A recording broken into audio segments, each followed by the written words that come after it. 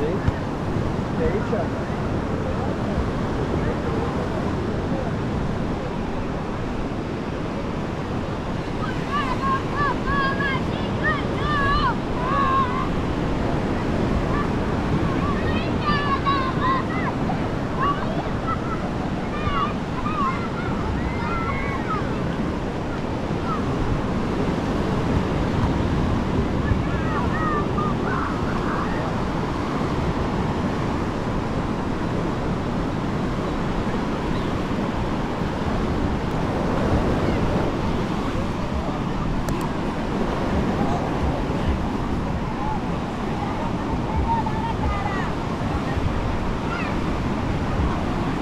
pra você, senta aqui pra.